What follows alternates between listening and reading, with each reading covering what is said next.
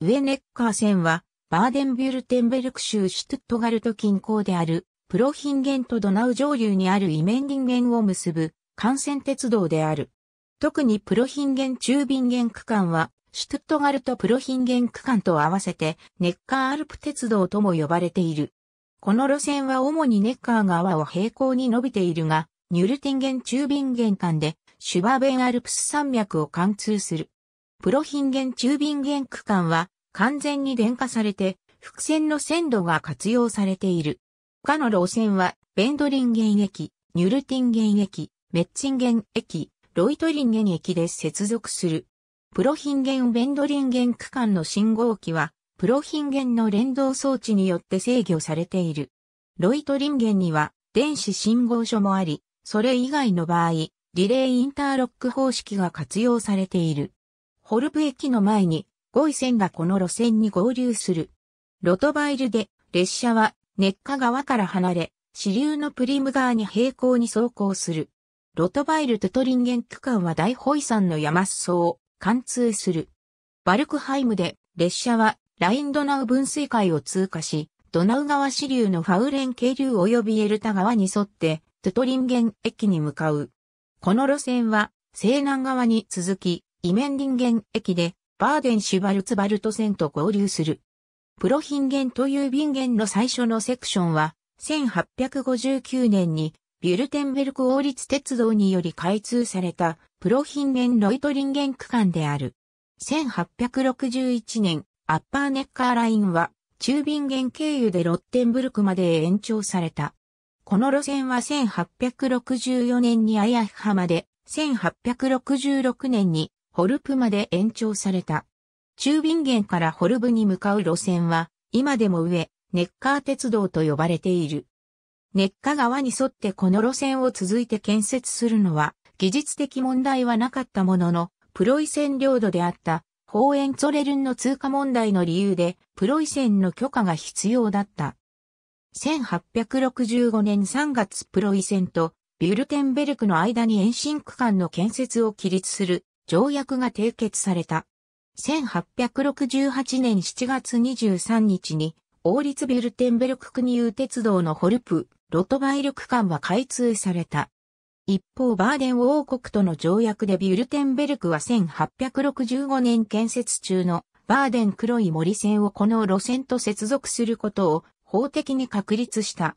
それでビュルテンベルクでは路線の延長とロトバイル、フィリンゲン区間の新設も行われた。1869年7月ロトバイルトゥトリンゲン間の開業は実現された。翌年、トゥトリンゲンからドナウ川に沿って、バーデンの境界のイメンディンゲンに至る区間は建設された。この区間の開通で1870年から、シュトゥットガルトからボーデン湖の西側まで列車旅行が可能になった。1899年10月18日に2番目の線路がプロヒンゲン・ベンドリンゲン間で設置された。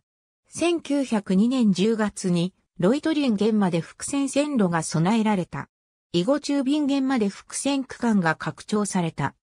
一方、シュトゥットガルトホルプ区間の開通以後、シュトゥットガルトトゥトリンゲン間の走行時間は3時間まで短くなり、1900年から特急列車はシュトゥットガルトイメンディンゲン区間で毎日3往復で運行された。この路線は貨物輸送で重要な意味を持って1897年40万トンの商品が輸送されるほどであった。初期には、五一帯から農産物がシュトゥットガルトに送られて、工業の発展で工業生産品もこの路線を通じて運搬された。1920年代からビュリテンベルク自由人民自治州はこの路線の複線化と改良を実行した。その目的は、ベルリン発スイス、イタリア行きの国際列車を5位線の経由で運行することとフランスとの高線地ライン国線の代わりにこの路線を使って兵力及び物資輸送を断絶させないことだった。1934年5月15日トゥトリンゲン、ハーティンゲン間連結線は断線で開通された。一方、プロヒンゲン中ビンゲン間は1934年10月1日まで電化された。1941年戦争中で回収作業が中止になるまで、帝国鉄道はオーバーンドルフ周辺の 2.3km 区間の例外にして、シュトゥットガルト・トゥトリンゲン間を複線化した。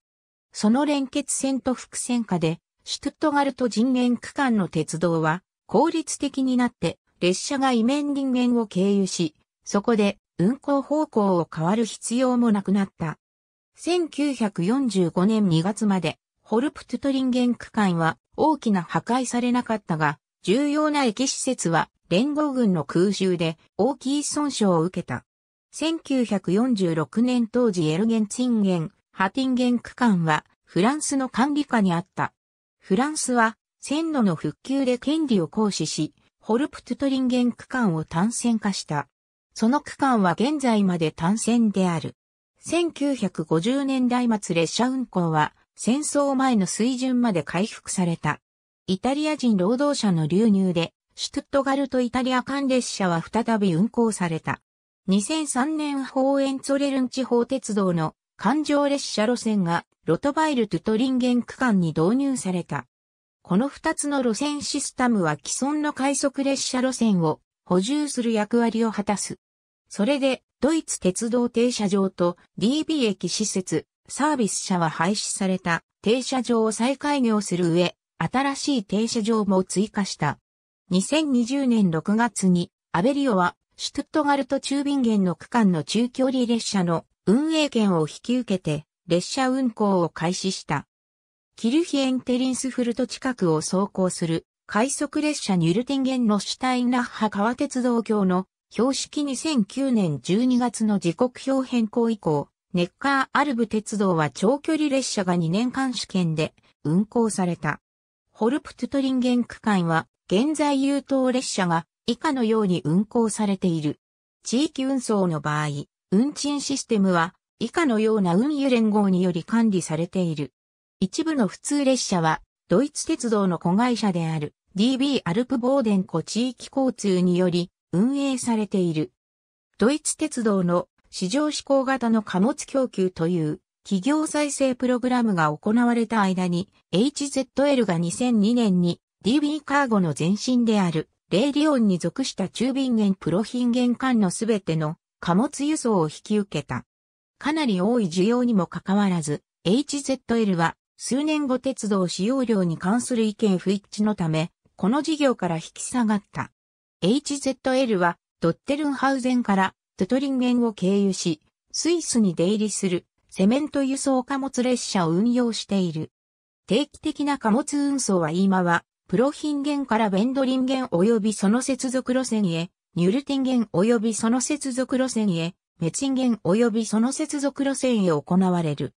ロイトリンゲン氏は、コンテナターミナル建設用地を長期間用意するために、旧貨物駅の土地を確保した。中便源旧貨物駅は2015年にほとんど売却されて、マンション、事務所用地に転換された。